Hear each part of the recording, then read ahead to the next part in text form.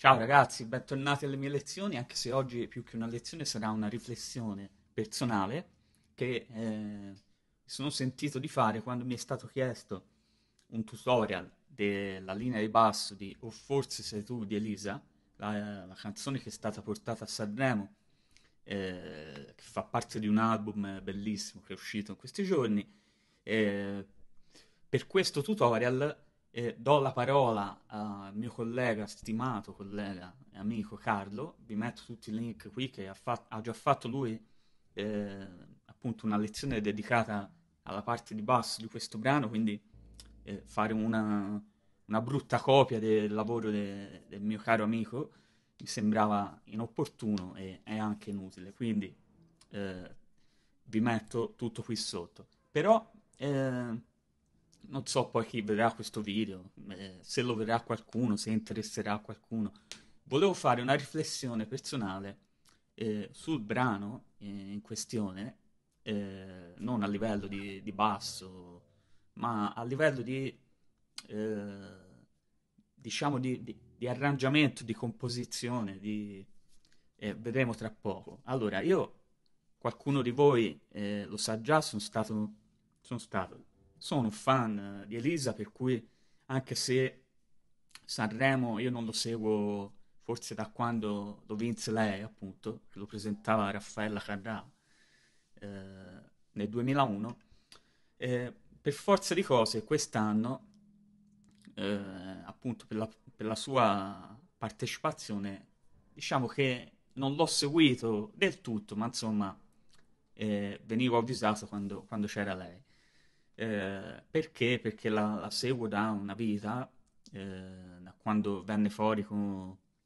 Eh, mi ricordo ero un ragazzino, ma eh, la vidi per la prima volta in un concerto, a, cioè in, in, una canzone al concerto del primo maggio, credo del 97-98. Lui portò Labyrinth e dissi, eh, scusate il termine, cazzo, chi sono questi? Io da buon curiosone, quali sono che a quei tempi non c'era, almeno io non avevo internet, eh, che ora eh, clicchi Elisa chi è e ti, ti, ti, dà tutto. A quei tempi funzionava un po' più che eh, andavi magari a comprarti il disco, chiedevi qualche informazione e poi piano piano insomma ti, ti acculturavi, ecco diciamo così. Eh, quindi la scoprì lì e da lì non ho mai smesso di, di seguirla, anche se poi eh, onestamente eh, dopo aver anche visto tantissimi concerti, eccetera, negli ultimi anni eh, diciamo che eh, l'ho, l'ho, seguita un po' meno per eh, gusti miei musicali un po' lontani da quello che è stata la sua musica più recente, nonostante io non mi permetterei mai di criticare eh, lei, le sue scelte eh, e la sua musica. Quindi, semplicemente gli ultimi dischi eh, eh che giustamente sono andati eh, di pari passo, diciamo, con i tempi, pur mantenendo sempre la sua eh, grandiosa identità musicale che ha, quindi Nonni Brano, anche quello più, che sembra più banale, c'è sempre dietro, ragazzi, ve lo dico da musicista, anche se non sono famoso, però un pochino di esperienza ce l'ho e vi dico che anche nei brani che a un primo ascolto sembrano più superficiali per chi dice eh, non è più Elisa di una volta, vi assicuro che nei suoi brani eh, ci sono sempre degli elementi eh, particolari che siano nella melodia, nell'armonia, nei, nei suoni, eh, nell'arrangiamento, eccetera, eccetera. Eh, quindi eh, mi sono poi ne, negli anni, anni dopo, ancora di più avvicinato a lei, nel senso ai tempi di quando eh, aveva capelli corti, diciamo così, quindi il tour eh, eh, soundtrack, mi sembra si chiamasse, scusate con, con i nomi, eh, non vado d'accordo, eh, perché da buon bassista, come sapete tutti, senza niente togliere a chi è venuto dopo, che ehm, ignorantemente non conosco, quindi eh, assolutamente non mi permetto di parlare eh, di chi, ahimè, anco, ancora non conosco, non ho avuto modo di conoscere. Ma eh, insomma, entrai in confidenza con Max Gelsi, molti di voi sapranno che Max è stato il bassista di Elisa, credo, eh, per una quindicina d'anni, correggetemi se sbaglio. Eh, tant'è che un altro pregio che io, eh, un altro merito che vorrei sottolineare quest'artista, tra, i tanti che, che, ci sono, è quello che, eh, grosso modo, da quando ha iniziato, da quando andava al Roxy Bar, ragazzi, non so se avete mai visto i, i primi video proprio di Elisa, una ragazzina proprio, eh, che già cantava, spaccava di brutto. Se ci fate caso, nella band eh, è venuto in mente Roxy Bar perché l'ho rivisto di recente su, su YouTube. Eh, c'era già suo marito, quello che, che, adesso è suo marito, c'era Max Jersey, c'era Andrea Fontana e, e questa cosa, quindi il gruppo storico, poi Max è uscito, eh, ad esempio Fontana suona ancora con lei eh, e tanti altri. Questo è un merito eh, che io gli do perché portarsi, tenersi dietro una band per così tanti anni, eh, qualche elemento subentrato, qualche elemento eh, è un po' più turnista, diciamo, c'è stato anche eh, Franco Santarnecchi in un tour, sono stati dei musicisti della Madonna, comunque di base, insomma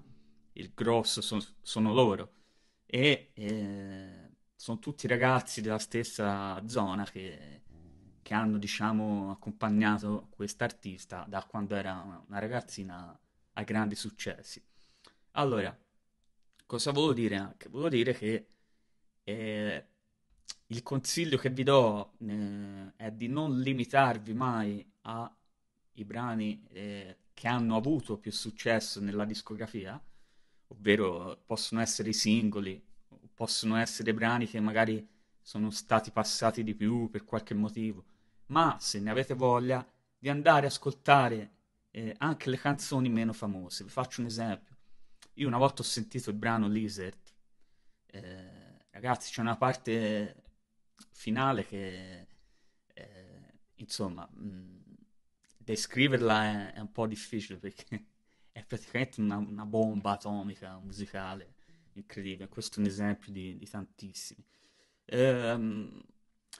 spesso eh, appunto leggo delle critiche eh, su di lei, sulle sue scelte musicali eh, e non anche a volte. E vorrei nel mio piccolo, con la massima tranquillità, eh, ci mancherebbe, ricordare a queste persone che Elisa, eh, se fosse rimasta eh, sempre ancorata ai suoni che aveva, alle sonorità, a, allo stile che aveva nei primi due album, eh, dove comunque venne fuori che eh, con quel rock, diciamo, un po' alla Alanis Morissette che in Italia mancava, dai, diciamocelo. Se fosse sempre rimasta lì, nel giro di 3, 4, 5 anni, purtroppo sarebbe sparita perché la musica va avanti, musica varia, e lei è stata, eh, no brava, eh, di più a andare a stare sempre a passo con i tempi, perché mi ricordo benissimo che ogni album che lei ha pubblicato,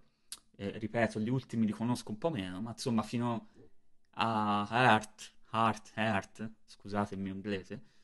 eh, sono sempre in linea con i tempi, quindi quando uscì eh, appunto il primo disco era in linea con la musica, anzi era avanti, eh, con la musica che comunque c'era que, quel momento e, e, fino appunto poi all'anima vola io poi eh, dopo mi, mi zittisco perché sono meno preparato. Eh, in ogni album c'è sempre de... le canzoni poi possono piacere, possono non piacere, per l'amor di Dio. Però non si può negare che eh, è un artista che si è sempre messa in gioco, rimessa in gioco e adeguata ai tempi. Questo eh, lasciatemelo dire che oggettivamente è così. Eh, poi che dire, ehm, oltretutto io ho conosciuto lei eh, in varie occasioni dopo concerti, una persona eh, di quel livello eh, che dopo concerti, io mi ricordo fece il tour nei teatri che fecero 60 date di seguito, 80, non, non ricordo, e ci sono stato diverse volte perché capitava spesso in zona, e ogni volta mi fermavo per salutare il mio amico Max Gelsi e eh, lei eh, in tutte le date era sempre disponibile dopo il concerto per foto, eh, autografi, sempre, sempre cordiale, sempre sorridente. Se vedete anche nella, nei, nei, suoi social, è una persona estremamente semplice, eh, mai una parola di troppo, anzi, eh, quando parla dice sempre cose eh, importanti eh, o comunque parla bene dei, dei, colleghi e questo è un vanto spaventoso per un artista. Eh, io cito sempre Mina a riguardo, che un artista del suo calibro non ha mai parlato male di nessuno. Ecco, i grandi, grandi artisti fanno così. Ehm, non si è mai eh, addentrata in discorsi politici eh, che sinceramente, ecco, eh, lasciamoli fare l'artista, come è giusto che sia, cantante, musicista. La politica lasciamola fare, eh, oddio, forse la farebbe meglio lei, ai politici. Comunque, al di là di questo, eh, ha sempre partecipato a iniziative, eh, mi ricordo, eh, Amiche per l'Abruzzo, eh, tante altre, anche durante il Covid, co- come si è comportata con, con, la sua band, con la sua, col suo staff, eh, quei concerti in cui il, rica- il, ricavato andava tutto a loro. Sono, eh, diciamo, quelle, quelle cose che a me mi rendono ancora più orgoglioso di essere suo fan e mi rendono ancora più eh, convinto di eh, aver tifato lei a Sanremo anche se poi non ha vinto, ma alla fine, eh, ragazzi, io penso che un artista eh, che porta a Sanremo un arrangiamento eh, del genere, anche qui è stato detto sì, ma non è più l'Elisa di una volta. Allora io vi faccio solo un esempio musicale eh, di questo brano, poi vi, vi, consiglio di andare a ascoltare tutto l'album in questione, eh, poi mi fermo perché tanto se no divento lungo e noioso. E vi voglio far sentire eh, una curiosità, probabilmente chi non è musicista non la capirà eh, a fondo. Chi invece un pochino mastica di musica si, eh, si potrà, eh, potrà far caso a questa cosa, che è subito la prima frase eh, sua della melodia che fa così.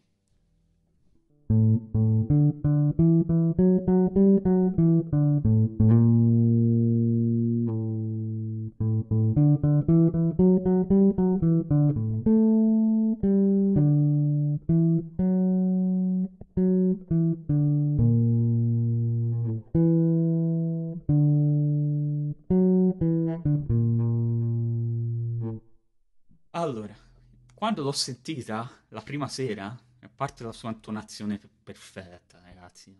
veramente allucinanti. Poi sono uno che sull'intonazione eh, purtroppo, fortunatamente ci faccio subito caso, eh, lei non, non, non, sbaglia un colpo. A questo proposito volevo anche, poi mi vengono mette tutte insieme, scusate, volevo consigliarvi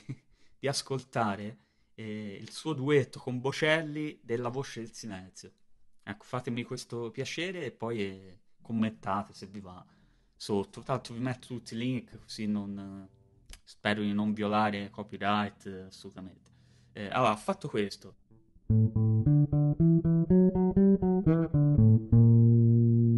Allora, ve lo spiego in termini semplicissimi. Un accordo maggiore, primo accordo no, che fa il pianoforte, eh, l'accordo successivo è minore, che sarebbe questo. Scusate, eh,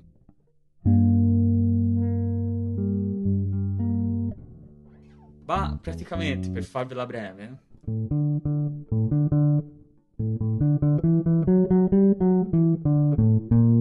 quando io sentii questa nota dissi, cavolo, ah,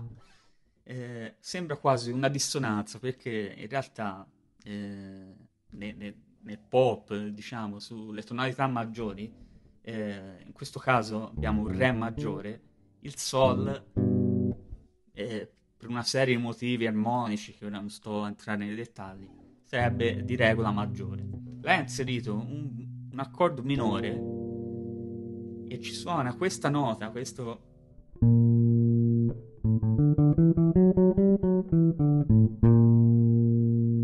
che non fa parte della scala di Re maggiore, quindi vabbè, poi ho, capi- ho esaminato l'armonia di questo brano perché volevo capire meglio e eh, per dirvela in termini molto molto molto semplici è riuscita a rendere pop un'armonia che potrebbe essere benissimo di un brano eh, di, di, di, musica classica, di, di, jazz, perché ha delle, degli elementi dentro paurosi. Questo è, è, è, significa essere de, dei geni musicali e significa anche che eh, appunto sai rendere eh,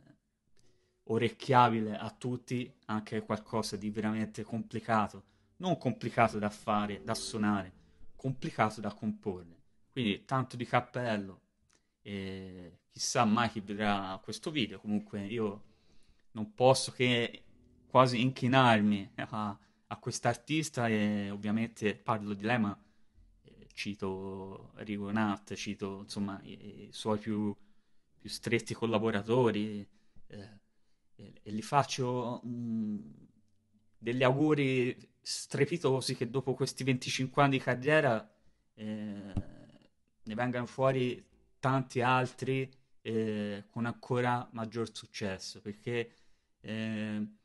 come eh, disse una volta Renato Zero, eh, non so se disse proprio queste parole, ma eh, tipo con te il mondo è un po' meno brutto, qualcosa del genere, lo disse in un concerto. quindi anche secondo me con Elisa tante cose